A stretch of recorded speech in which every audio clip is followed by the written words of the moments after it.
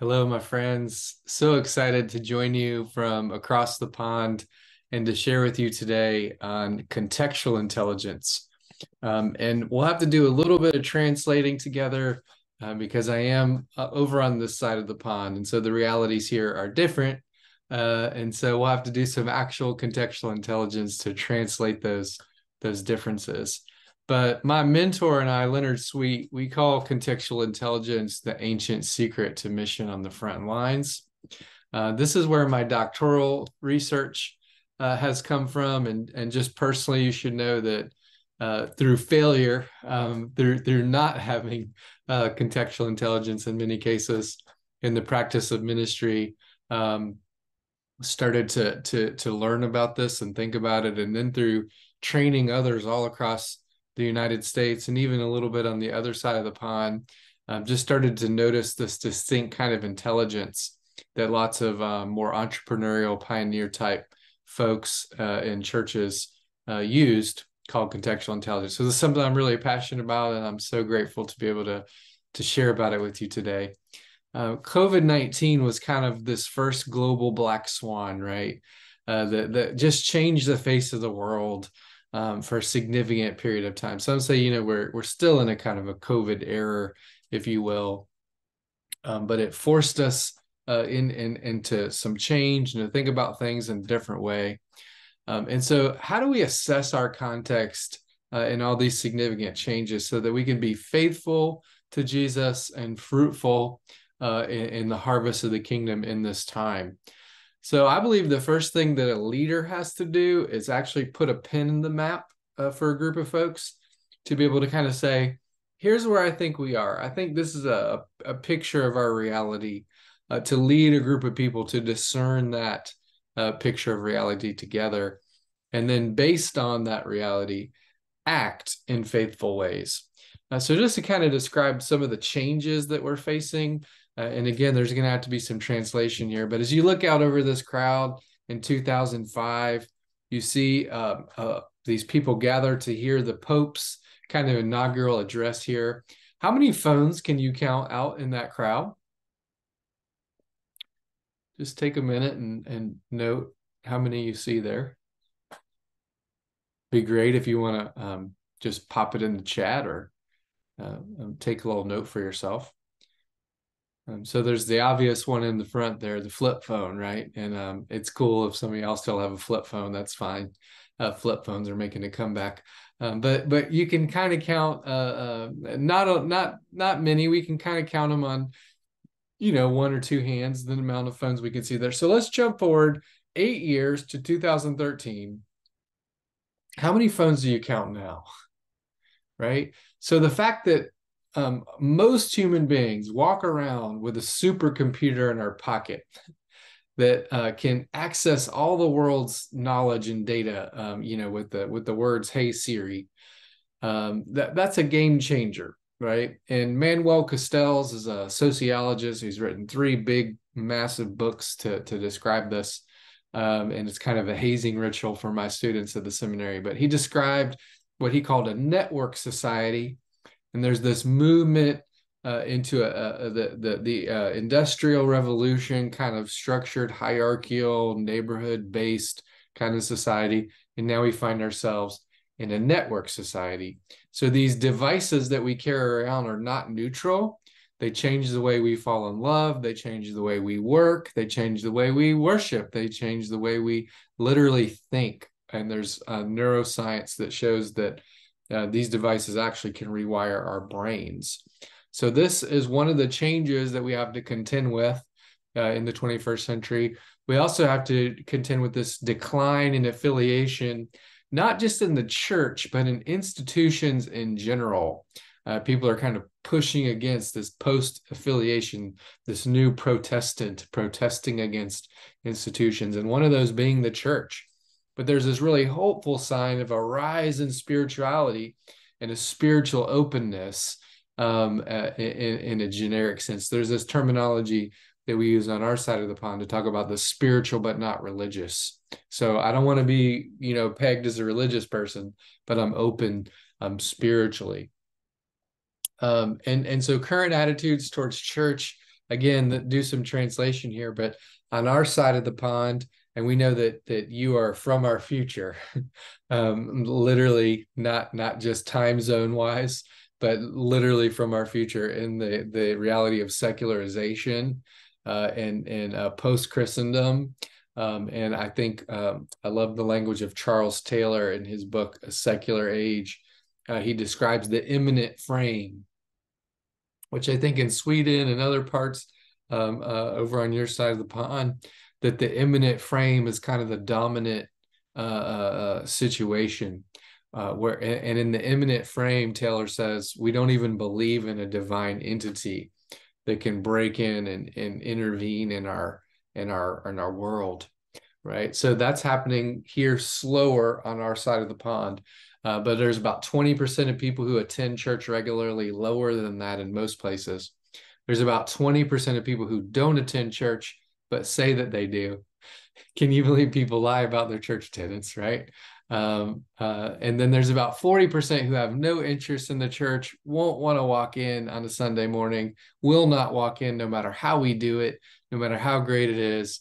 Uh, they're just not gonna. They're just not gonna come. There's lots of factors for this. There's those dones, people who've been harmed by the church, bad Christians happen to good people, and they're over it. Uh, there's uh, the the fact that we don't have blue laws here in the United States anymore, where it used to be the only thing you could do on Sundays was go to church. That's done. Now we have a seven day work week uh, where we work seven days, gig economy, younger folks working lots of jobs, multiple jobs, trying to pay off educational debt. then we've got, um, you know, the the youth soccer leagues and football and different things that all compete in that Sunday morning space. And uh, about 40% of our population who's actually working. And yet we've got all our eggs in this Sunday morning worship basket, putting so much energy and time and resources into this one thing where we know about half the population is not going to come to no matter how good we do it. Um, so if we could kind of describe these changes that we're going through, this liminality that we're in now, what was once a lush kind of rainforest uh, is now a desert. So this is a change of ecosystems. Uh, this is uh, what Gil Rendle, he's a Methodist scholar, talks about an aberration. The church as we know it was formed in this aberrant time, this not the normal, this aberration. Uh, and you can think of that as this jungle. A, a, desert is also an ecosystem. It's a very different kind of an ecosystem. And in this ecosystem, now we have to figure out a new way to live. We have to f- figure out how do we get water out of a cactus uh, right? What are the dangerous things here? Where how do we find the oases of the spirit and uh, draw water from that well?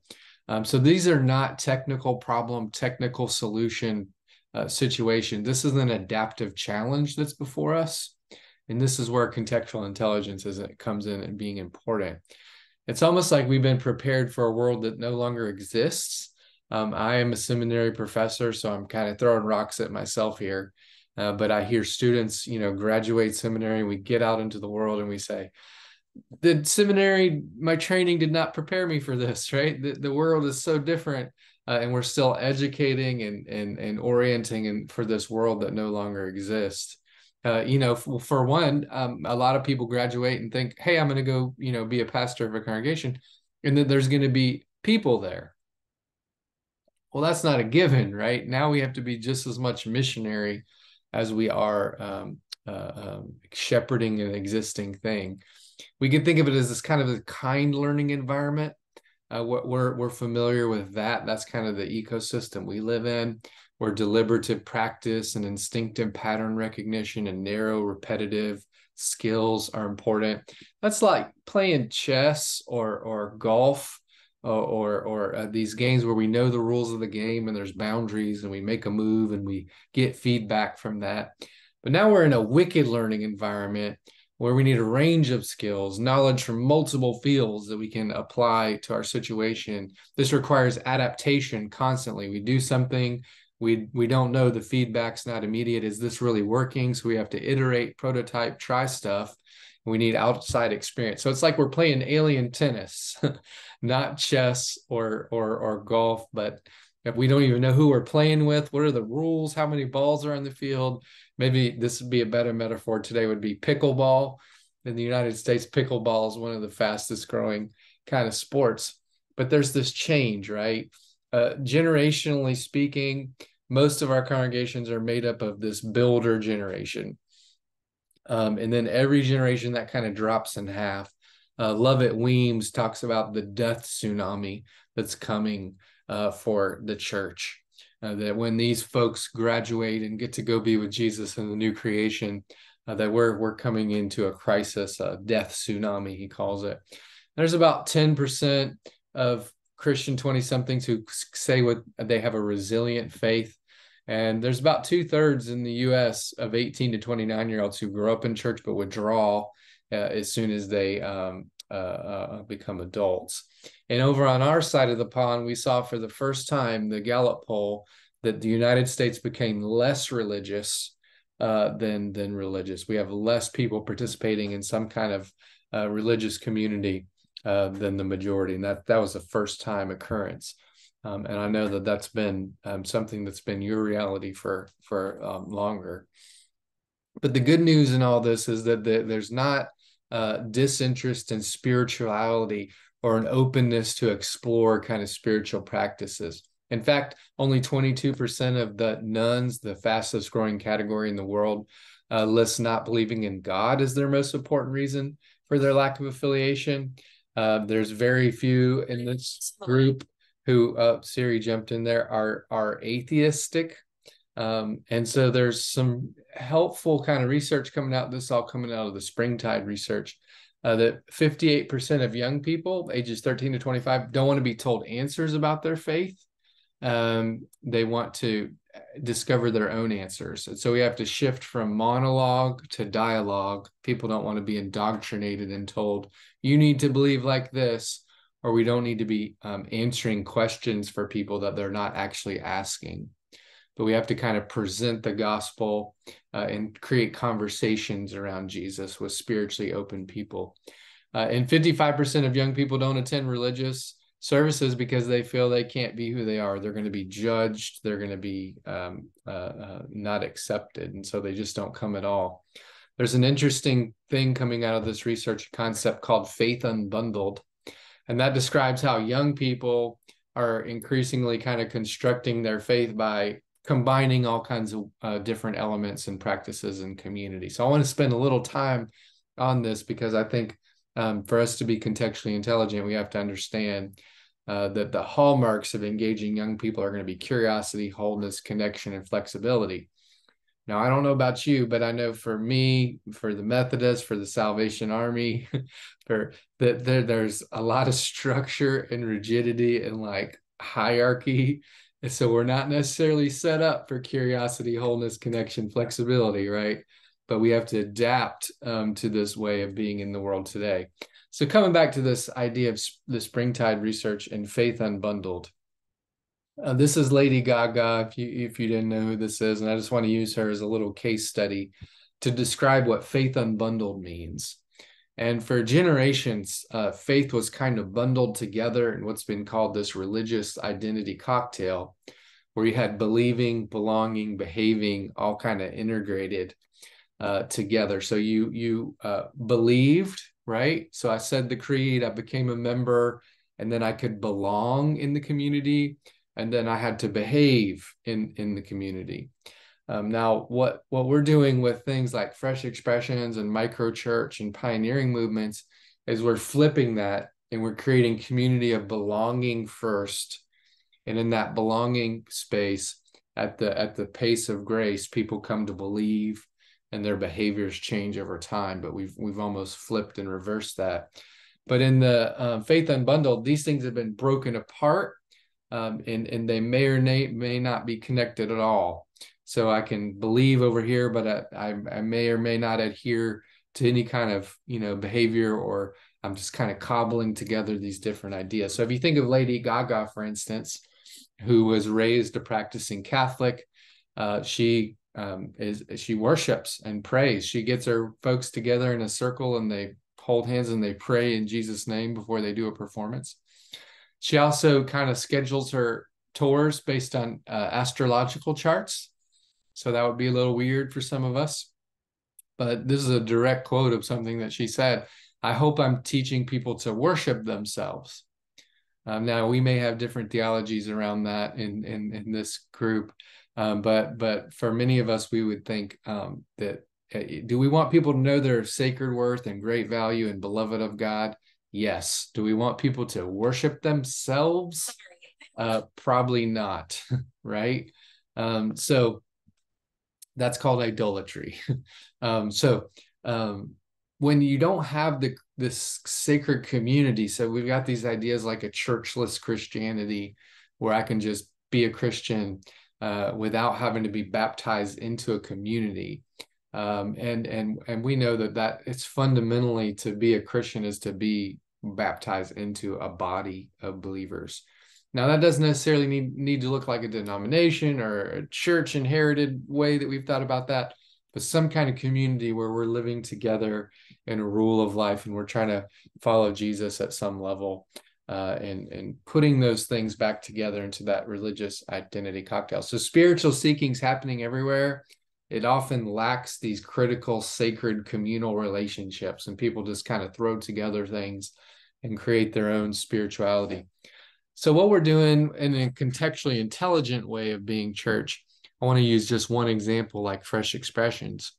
Uh, we think of people in a network society, they don't necessarily connect based on uh, who who our next door neighbor is, right? Uh, in, in a neighborhood society, we, we knew our neighbor, uh, we had relationship with our neighbor, we borrowed sugar from our neighbor, uh, we we our neighbor borrowed our lawnmower. Um, our neighbor has had my lawnmower for two weeks. Anybody had that neighbor? Um, those kind of things. Now, um, our zip code or our our our, our geography doesn't necessarily determine uh, the relational networks that we'll participate in, but people gather around these practices in these kind of domains of life that that you see illustrated here. So people may be really passionate in that healing domain about social justice or political movements. Uh, they may be in that nourishing space in like a rural context where we're fo- focused on uh, food farming, sustainability, and place economy. Uh, and and um, people are passionate about that and forming relationships around health and well-being or fitness and sport. And so while we may or may not know our neighbor, we get together around these practices, these these hobbies, interests, passions, uh, and we more build relationships. So what we're doing with Fresh Expressions uh, is is to have contextual forms of church to be contextually intelligent. Uh, is we we go out and we join those already life affirming things. So if people are passionate about social justice, uh, you know the Holy Spirit's already there, involved in that and, we're trying to go out and join what the Holy Spirit's doing in the world. If people are passionate about food farming sustainability, we know God's involved in that. We want to go out there and join what God is doing in the context in these little new Christian communities. They look a little bit weird for some. They're organic. They build up out of these relationships through listening and loving, but they spring up right in the context. Uh, they take on the language and the practices and the, the rhythms of the context um, and we um, uh, create community in that way. So this idea of contextual intelligence, I want to just do a little bit of uh, uh, biblical kind of grounding it in scripture. Uh, and Jesus had this wonderful saying. You have a saying that goes, "Red sky at night, sailor delight; red sky in the morning, sailors take warning." You find it easy enough to forecast the weather. Why can't you read the signs or the semeion, uh, the the the signs of the times? So you can tell weather patterns and you can see when something's coming. But do you have this kind of seeing, this kind of intelligence, this kind of vision that you you you understand the context around you, which was one of Jesus' favorite things was to teach his disciples pay attention to the context. Um, so how can we grow in our ability to read our context and to in, intentionally kind of engage our communities for Christ? Um, this is where we think CQ is a helpful tool and it comes from these two Latin words that we kind of bring together. Uh, the word for context to weave together, uh, and and uh, to enter or between, uh, to choose to read. So contextual intelligence is literally about reading between the lines. Uh, it's it's about seeing the the spirit, uh, the the the things of God behind the things that we see. right? It's about having those eyes to see, ears to hear that Jesus is always talking about. And the the larger kind of macro and micro level things that make a context uh, what it is. Um, Alan Hirsch has this great quote in um, uh, Red Skies contextual intelligence, looking to find the threads of meaning and of God's will and what seems like uh, chaos in the current kind of liminality of the of the um, times. Um, now, uh, like many things, the world takes our best lines as the church and and takes our best stories and tells them better than we do. Um, so I'm going to get into a little bit of the kind of the academic um, origins of this concept of contextual intelligence. So there's two Harvard researchers uh, in in our side of the pond. Harvard's a very prestigious kind of um, school, uh, but these two, Mayo and Nohria, they they uh, studied the canon of business legends um, uh, across uh, the the the last hundred years, uh, and they they um, kind of identified in their book in their time that that um, these leaders had a distinct kind of way that that that this distinct kind of intelligence that to lead.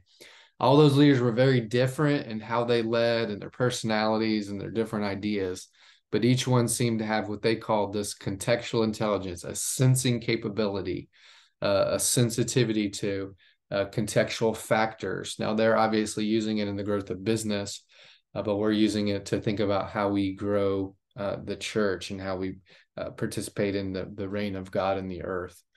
And so it's bringing together this idea of leadership energizing a community of people toward accomplishing some shared mission and contextual intelligence, which is the ability to accurately diagnose the context and make correct decisions regarding uh, what to do. And again, how are these related? Well, the first task of a leader is to paint an accurate picture of reality. Uh, contextual intelligence is uh, is significant in that. The first place that we see this in the Bible is in First Chronicles twelve thirty two, there's this mysterious tribe called Issachar. Uh, and there we see in that situation, First Chronicles, David is taking over leadership as king of Israel from Saul. So there's this transition, this kind of liminality, uh, and and uh, all the tribes are bringing weaponry and people power and and and uh, provisions.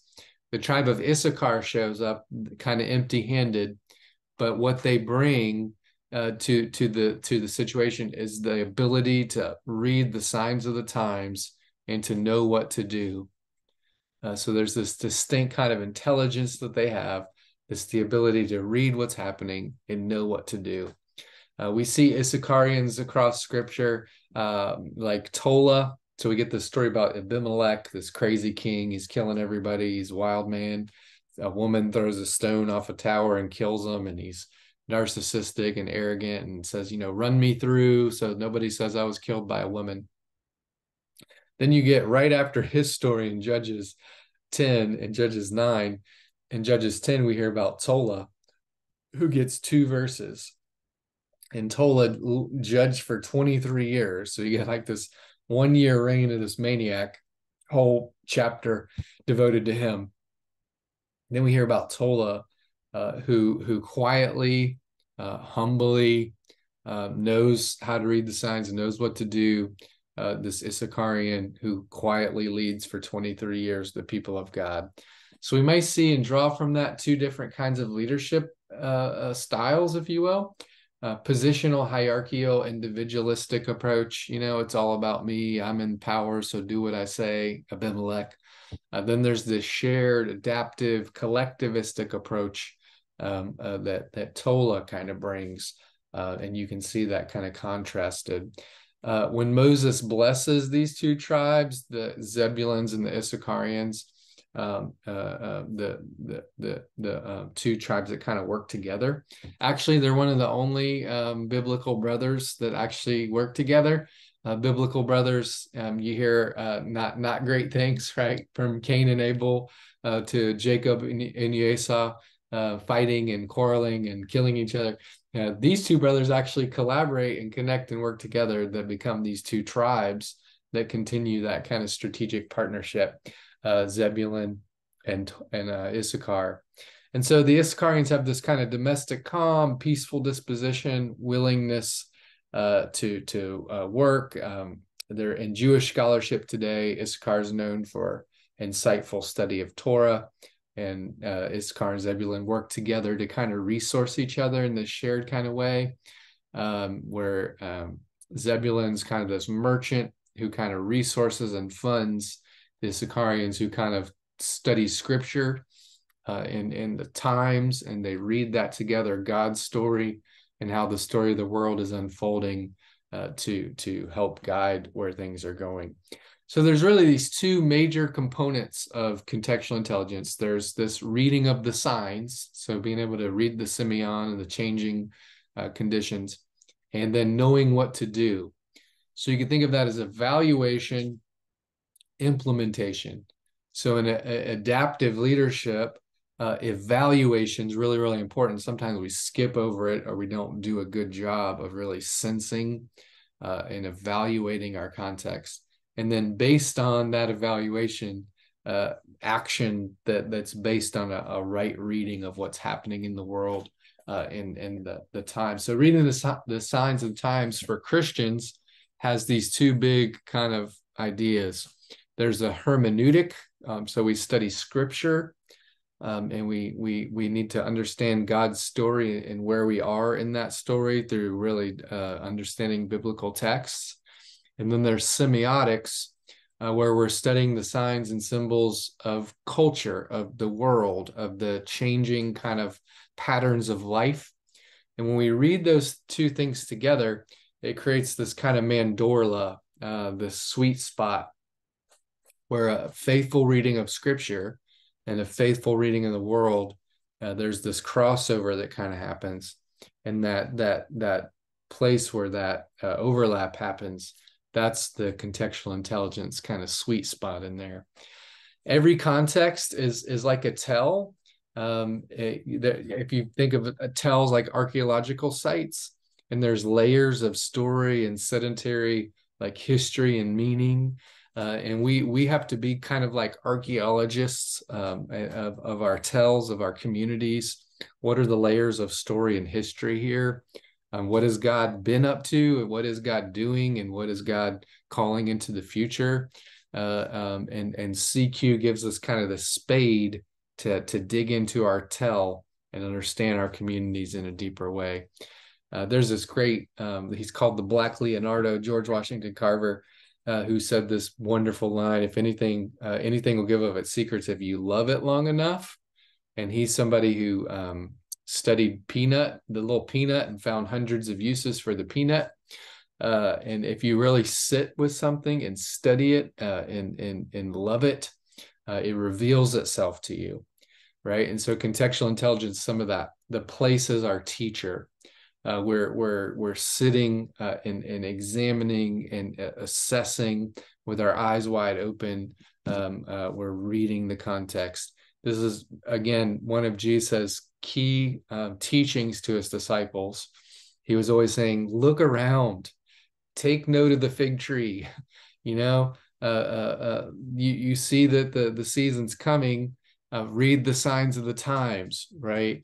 Um, he was a master semiotician uh, who didn't necessarily do ministry in the inherited context, like not just at the temple or the tabernacle or, or the uh, synagogue, but he was out in the world and teaching the disciples to to be in the world and to really look, to learn, to situate themselves. Some of his favorite words: look, observe, consider, behold, watch.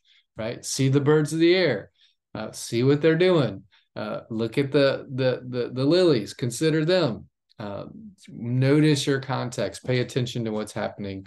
Um, so listening, paying attention is an act of uh, intentionally engaging communities for Christ. Um, uh, it's it's um, following Jesus' uh, command and teaching to do that, to really pay attention.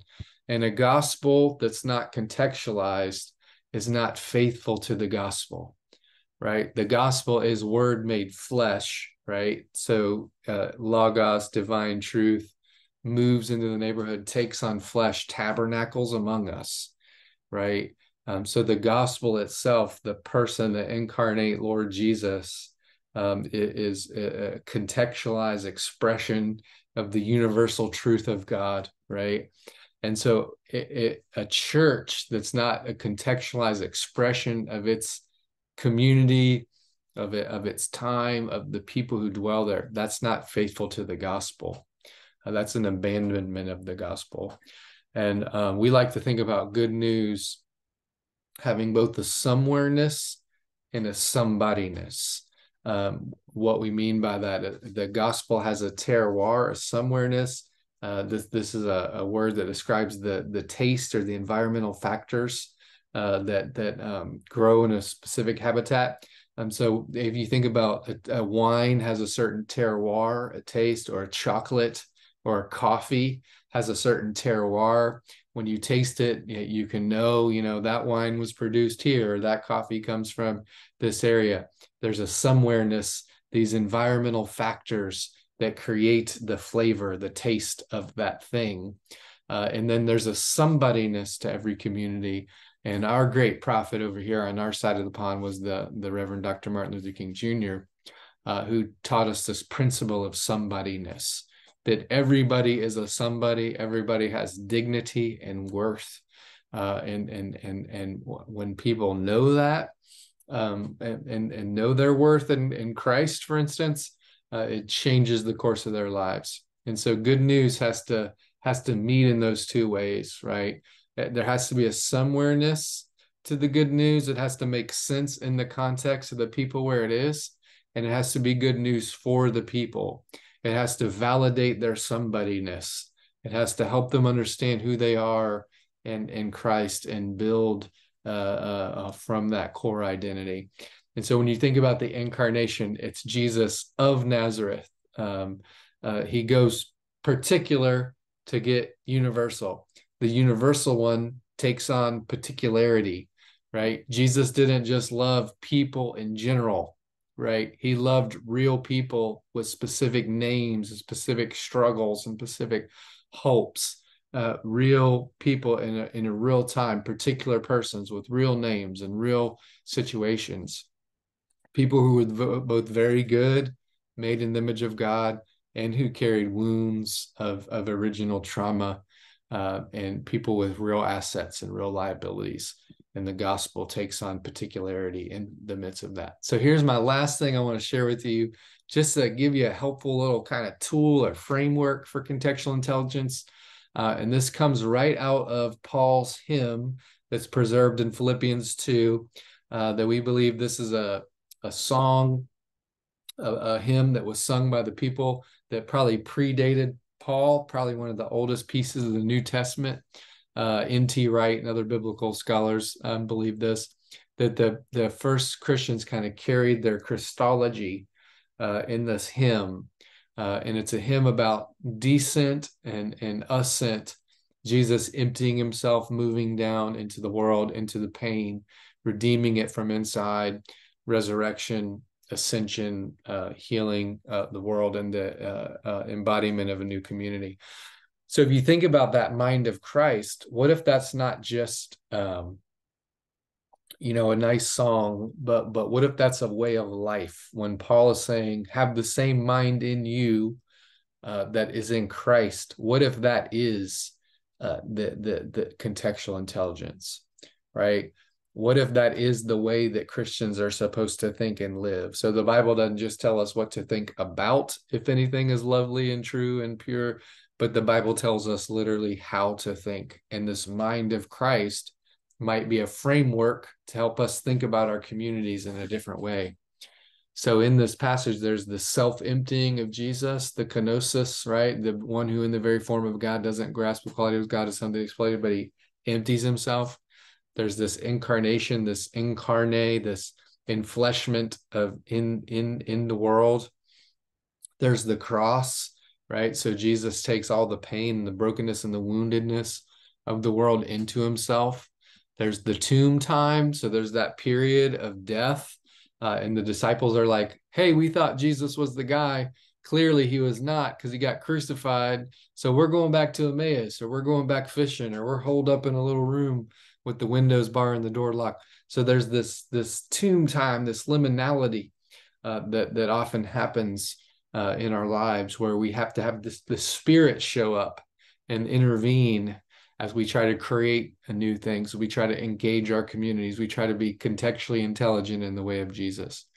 Then there's the resurrection. Jesus kind of shows up, breathes on the disciples, fills them with the Spirit, sends them in mission. Uh, and then there's the ongoing community that's created, the body of Christ in the world, this new creation. Uh, that that now Jesus is is he's ascended and he sits on the throne of the cosmos as the wound bearing King of Kings and Lord of Lords, but he's also in flesh and embodied in the world today through the church. Or uh, what I love what Alan Hirsch talks about in the APEST in Ephesians 4. It takes all of us to make one Jesus. All of us as apostles, prophets, evangelists, shepherds, and teachers embodied together as the body of Christ make one Jesus, this new creation thing. So what I'm, we're doing with the contextual intelligence is what if this is literally a, a series of movements for how us for how we can think about uh, our communities. So that first movement is that self-emptying movement. It's that unlearning. Um, it's it's being able to to come into our community with soft eyes, not with the hard-eyed surety like the Pharisees had. Right? They thought they knew everything and that they rejected Jesus, but this humble way of kind of being in the world, where we're unlearning, old ways of thinking and old models and and immersing ourselves in our context so contexts are are not so much like clocks that move with a you know a a, a, a mechanical kind of way contexts are more like cloud formations uh, that just when we think we have an accurate picture of the the cloud formation atmospheric changes kind of come along and and change the formation right? So we we can't fully know uh, our community. We are constantly learning to know our community with those soft eyes as a learner. And then we immerse ourselves in our context with real people uh, learning their real names and spending time inhabiting places and praying over places. Uh, and then we mind the gaps. What are the pain points uh, in the world? Where are the, those crosses right? Where there's food insecurity? Where are there gaps between the fullness of the kingdom uh, and and what is our current reality? And we always find the spirit at work and moving in those gaps bringing healing and renewal and how do we join into the gaps the fragments uh, that we see in our community? We're always going to go where we have that hit the wall moment uh, that disorientation that liminality where we you know think we're doing something and it kind of seems to be falling apart or we're trying to start a new church and nobody's showing up or we have a, a leader who goes rogue on us or there's a mutiny uh, many things right? But there's this period of disorientation that we'll always go through if, if we follow the spirit in our community uh, to create new things and and to share the gospel and the spirit shows up in that tomb time that disorientation leads us to new discoveries right? So that's the resurrection moment, right? Where God shows up uh, in a new way or shows us a new direction or in a new person or a new kind of door opens. Uh, and we we find the risen Jesus right there in the disorientation, moving us, moving us forward. And then through this journey, usually something is new is created through embodiment. So that could be a new us.